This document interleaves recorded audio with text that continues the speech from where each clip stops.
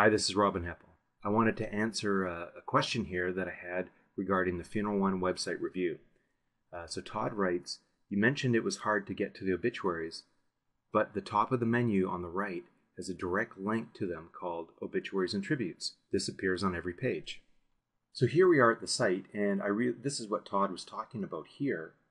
And the first thing that I was mentioning was uh, it's really hard, nothing really stands out for that person who's looking for obituaries, so they do have to hunt around and find them. But whether someone goes over to here and clicks this to come all the way out, or clicks here, so what I was saying was to get to the actual person's obituary. So here's one click. We'll click on this person here. And then we have to click over here get to the obituary information. That's what people are looking for. They want to know when the time of the service is. So those were the three clicks. In contrast, if we look at the Amos family website here, you can see that the 10 most recent obituaries are right here on the page.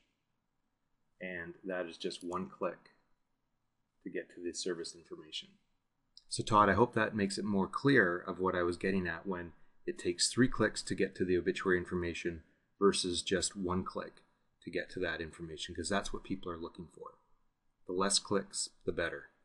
But thanks a lot for your question, Todd.